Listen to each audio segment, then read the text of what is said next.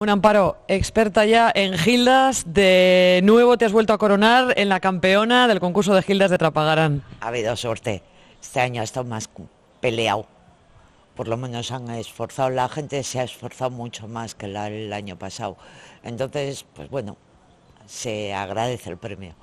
El año pasado también te llevaste el premio con una deconstrucción, con una gilda deconstruida que se podía beber en un vasito. ¿Y este año qué, qué es, lo- qué es lo que has ideado? Nos hemos ido a esferificaciones y le hemos dado un poco de vistosidad y es distinta, es diferente. Para los que no somos legos en la materia, eh, cuéntanos qué es una esferificación, qué es lo que has hecho. Bolitas, he hecho bolitas de Gilda, sin más. Unas bolitas que se comen y se revientan en la boca. Y lo coges con una cuchara y toda la vez también se come también. A la vez. Van tres bolitas y la cuestión es meterlo en la boca y dejar que revienten en la boca para conseguir todos los sabores. ¿Qué te comenta la gente? ¿Ha gustado? Sí, de- desde luego ha gustado para llevarte el premio, pero eh, ¿te la siguen pidiendo? Sí, este fin de semana hemos vendido, entonces parece que está gustando.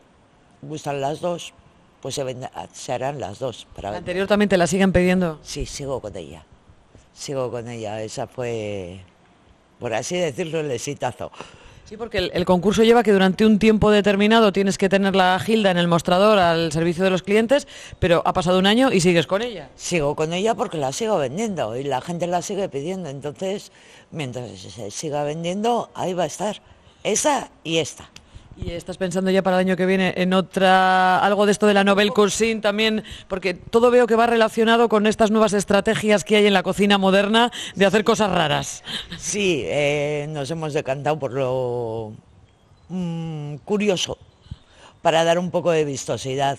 Pero bueno, eh, no lo sé lo que voy a hacer el año pasado, déjame un poco de tranquilidad.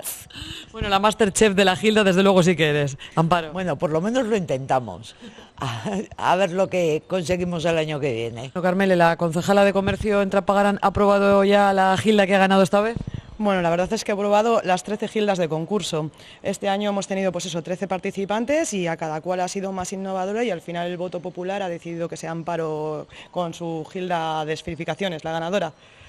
¿Y ¿Qué impacto económico ha tenido este concurso en la hostelería de Trapagarán? Bueno, pues hablando con todos los hosteleros que, se han, que han participado, pues nos han dicho que una media de 200, 250 gildas por fin de semana.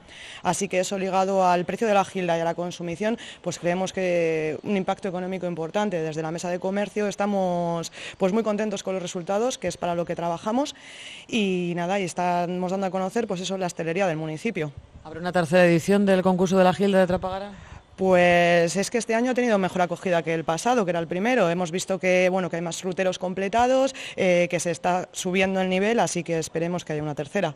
Más ruteros completados y también el número de participantes, has dicho que han sido 13, eh, ¿fueron más esta vez que el anterior? Eh, igual, igual. mm, Uno más, uno menos, no recuerdo si este es uno más, uno menos, pero bueno, que han repetido muchos ah, y han- se han añadido otros. Lo que habéis notado mejoría entonces es sobre todo en, en la acogida, ¿no? En el pueblo. En la acogida y bueno, y en el nivel de, de las gildas. Cada uno ha hecho su versión de gilda y bueno, ya veis la que ha ganado. Es algo nuevo. Amparo no es la única innovadora, había también mucha innovación por No, ahí. no, no, mucha innovación. La verdad es que han- se ve el trabajo, se ve que ponen ganas y el esfuerzo y cariño también.